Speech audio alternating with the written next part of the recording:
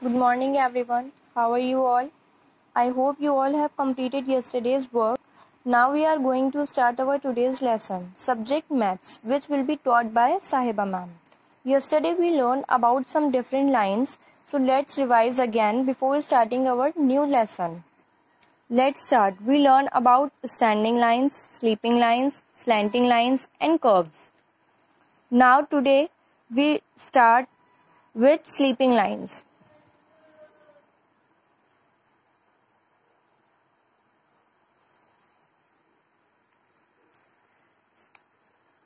How we make sleeping lines?